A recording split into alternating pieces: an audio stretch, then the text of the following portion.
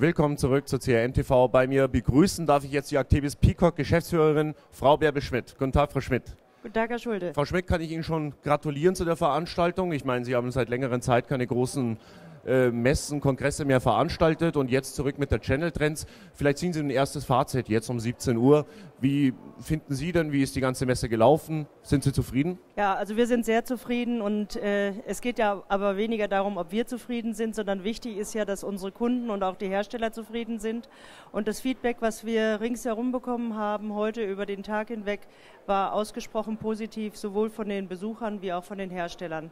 Und das freut mich ganz besonders, denn äh, diese Veranstaltung, die haben wir gemeinsam mit Ihnen auf die Beine gestellt. Und äh, ich denke, das äh, zeigt einfach, dass wir gemeinsam in der Lage sind, hier wirklich eine tolle Geschichte zu machen. Weiterhin ist es so, wir hatten äh, an Anmeldungen 2460 Anmeldungen. Wir haben in etwa auch so viele Menschen eben hier gehabt heute und haben sie auch noch hier. Das ist also auch sehr erfreulich, denn äh, in der Regel gibt es doch eine recht hohe No-Show-Rate.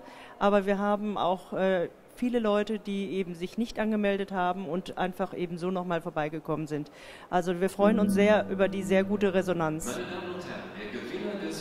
Ja, Frau Schmidt, ich bedanke mich erstmal bei Ihnen für das Lob, für uns natürlich auch.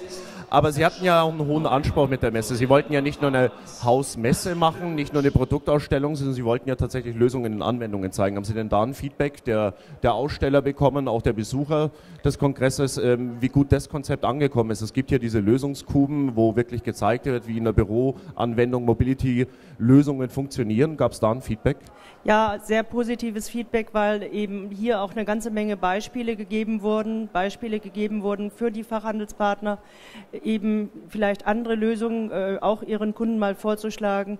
Parallel dazu wird ja im Moment oder wurde äh, vorhin der Mobility Award verliehen an drei Fachhandelspartner, die eine ganz besonders interessante Lösung eben äh, zusammengestellt haben und dabei ihren Kunden sehr erfolgreich äh, sind.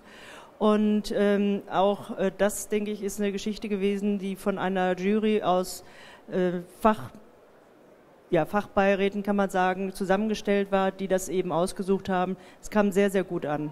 Also es sind wirklich Lösungen gezeigt worden, die auch einfach mal neue Trends aufzeigen. Frau Schmidt, man sieht es jetzt schon an Ihrem Halstuch. Actebis hat sein Logo geändert, aber jetzt ist Actebis nicht mehr blau, sondern ist grün. Und äh, NT Plus, äh, die neue Schwesterfirma der Actebis Peacock, tritt auch gleich mit einem veränderten Logo auf, ist jetzt orange. Zum ersten Mal sind Actebis und NT Plus gemeinsam aufgetreten hier auf dem Kongress. Ähm, konnten beide schon Synergiepotenziale aufzeigen und welche Synergiepotenziale sind von beiden Firmen noch zu erwarten in Zukunft? Eine Sache möchte ich ganz kurz sagen, bei NT Plus gab es keine Veränderung des die Logos. Die waren schon orange? Die waren schon, die Farbe existiert, ich dachte, solange man wollte ich diese Werder Bremen Farbgebung treffen, grün Nein, orange. nein, nein, nein, die äh, Farbgebung bei NT Plus ist unverändert. Es hat sich, äh, wie Sie äh, sagen, das Actebis Logo verändert. Warum haben wir das gemacht? Wir haben das äh, deswegen gemacht, dass wir in Europa wirklich ein einheitliches Auftreten haben. Wir haben zum Teil Landesgesellschaften, die noch mit einem anderen Logo gearbeitet haben. Und wir haben jetzt europaweit den äh, gleichen Auftritt in dieser grünen Farbe, hier in Deutschland noch mit dem Zusatz Peacock. Denn äh, auch das ist sehr wichtig, dass wir das von unserer Seite her eben weiter im äh, in unserem Logo haben. Denn es gibt nach wie vor eine sehr treue Peacock-Kundengemeinde, die wir auch äh, in der Zukunft eben hier mit unserem Logo auch entsprechend weiter unterstützen wollen. Ansonsten wie gesagt, ringsherum sind wir sehr zufrieden mit dem, wie es äh, bisher gelaufen ist. Und äh, heute Abend erwartet uns ja noch eine mit Sicherheit sehr muntere Abendveranstaltung. Und ich freue mich da auf eine rege Teilnahme. Vielleicht noch, äh, noch mal einmal nachzuhaken bei Activis und NT Plus. Gibt es denn jetzt schon Pläne, ähm, wie, das, wie die Zusammenarbeit der Firmen in Zukunft weiter laufen wird? Wird die Zusammenarbeit enger werden in bestimmten Bereichen oder, oder wird man weitergehend getrennt arbeiten? Der Volker Schwellenberg wurde ja vor kurzem als äh, neuer Vorstand dort berufen. Also es wird so sein, dass äh, die Zusammenarbeit mit Sicherheit sehr viel intensiver werden wird jetzt in der Zukunft.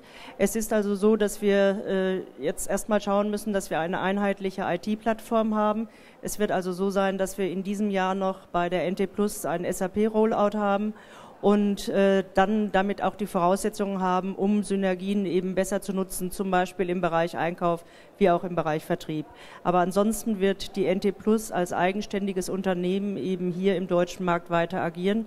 NT Plus ist ein sehr, sehr guter Brand, äh, der hier im deutschen Markt äh, für das Thema Telekommunikation bekannt ist und wir wollen auf keinen Fall, dass dieser Brand eben in der Form nicht mehr existiert. Auf keinen Fall. Frau Schmidt, ja, dann wünsche ich Ihnen noch eine ähnlich schöne Abendveranstaltung, wie es heute tagsüber schon war und danke mich herzlich, dass Sie zu uns gekommen sind. Ja, vielen Dank auch von Ihnen.